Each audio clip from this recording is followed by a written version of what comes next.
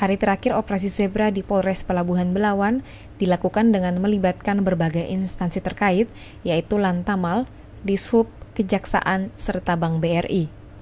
Kapolres Pelabuhan Belawan AKBP Ikhwan Lubis mengatakan, sidang di tempat yang melibatkan jaksa dan Bank BRI ini dilakukan agar para pengguna jalan mengetahui jumlah bayar untuk kendaraan yang ditilang. Operasi zebra yang terakhir sudah dilakukan penindakan tilang sebanyak 1017, terdiri dari sepeda motor 642, mobil penumpang 141, mobil bus 4, dan mobil barang 230. Selama operasi zebra dilaksanakan, kecelakaan lalu lintas sepeda motor menyebabkan tiga orang meninggal dunia.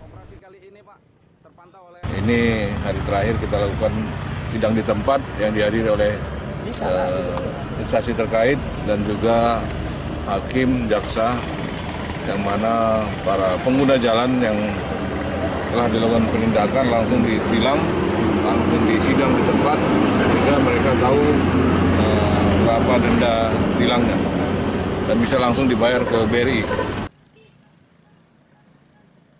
Dari Belawan, Sumatera Utara, Persaruan Sitorus Tribrata TV, Salam Tribrata.